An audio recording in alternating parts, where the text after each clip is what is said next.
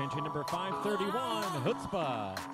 Let me take you to a place I know you wanna go, girl. We should go there. It's called chutzpah. Chutzpah? No, no, chutzpah. Oh, there's no such word. There is so. It's a wonderful old Jewish word. Yeah, how do you spell it?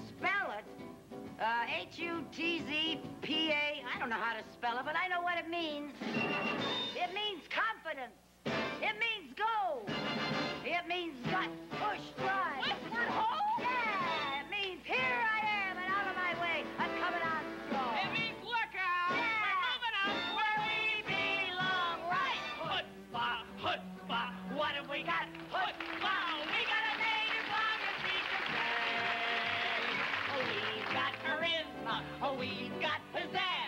The magic thing that in the ring a toreador has. Yeah. Chutzpah, chutzpah. To the top with chutzpah. Evelyn and Emily, hooray! Oh, it's a little bit of brain and a teeny bit of talent and chutzpah. We're on our way. Chutzpah, chutzpah.